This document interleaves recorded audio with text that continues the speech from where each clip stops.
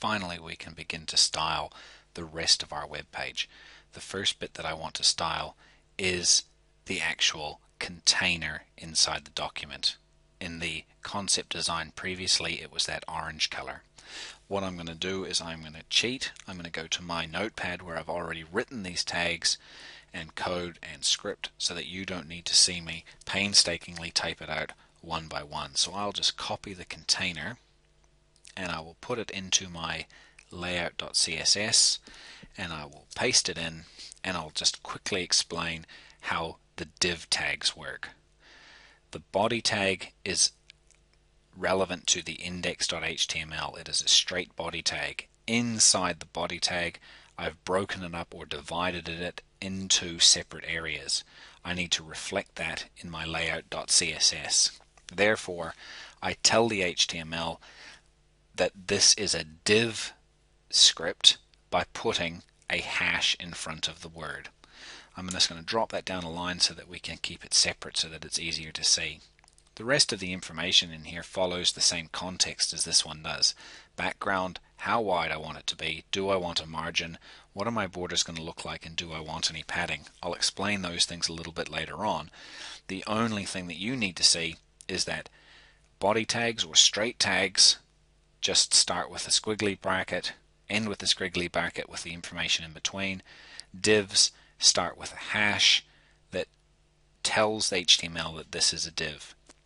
I'll also show you really quickly how Notepad++ is a much better program than net than just a straight notepad because the way it differentiates and breaks these things up. It gives us the line that says, hey, here is the whole load of script in the CSS page for the body tag.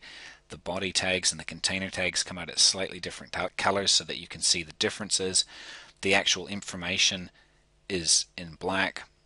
The content that we're actually trying to stylize, or the titles, I suppose, are in a different color. So it allows us to have a quick glance at it and see a whole pile of things. It means that if we make mistakes, things will show up differently and we'll be able to pick our errors, errors up much easier. If I save this and I go to my web page, sorry, I go into the folder, web design 1, and I open up index.html, I now can see that the container is coming through.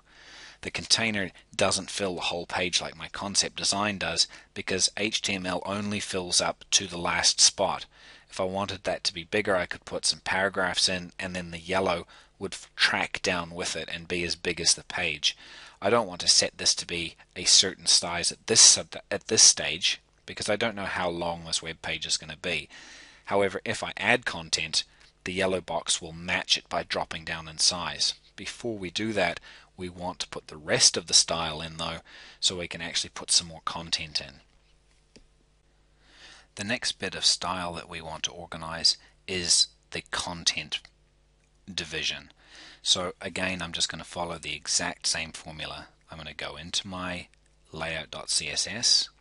I'm going to go down to my notepad where I've already typed it out and I'm going to copy in the content tag. I will go to my style sheet and I will down onto the next line and paste that in and just for neatness sake I'm going to keep these things lining up on the outside. Again you can see it's a div, it's a content div so it starts with a hash key and the information inside that pretty much follows the same. I am going to save this.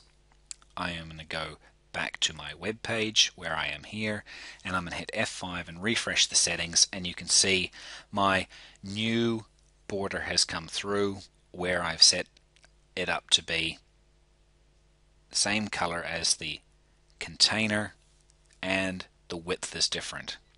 To check that let's look in here and the width is 508 pixels versus 768 pixels. I will explain all of these chunks here later on once we actually get our web page to start looking like something. All we've got left to do now is sort out our navigation and our footer divi dividers and then we can actually start putting written content into our page. Again, I'll follow the same process. Into Layout CSS, I will go down onto a new line. I will go into my notepad where I've written this stuff down. I will copy the stuff I've written for navigation. I will paste it into the page, making sure that the setup is the same just for neatness sakes. And I don't need to explain this stuff here because it pretty much is self-explanatory just by looking at it. I will save that. I will go to my web page and I will refresh the page. Nothing happens at this stage because there's no content in there. Doesn't matter. We're going to go and get it sorted as we put more stuff in. The footer is going to be quite an important part in this process because the footer is going to tell the boundaries above where to stop and it's going to give a little bit more structure to our page. All I'm going to do again, layout CSS, into Notepad, find the footer details that I've already written, copy them into our CSS, paste them in, save our page, go into our folder and open up index.html. And you can see now my page has started to pull itself together a little bit better. I have got, well you can see right away by putting that footer in it actually gave structure to the above slightly. I've now got my header area where I've got Tim Berners-Lee written. I've got my content page. You can see very faintly at the moment where I've got my slightly separated color page and then I've gone through and I've got my footer in which forced these two to separate and show up clearly. At this point here all I need to do is start putting content in and our page will start looking like a web page.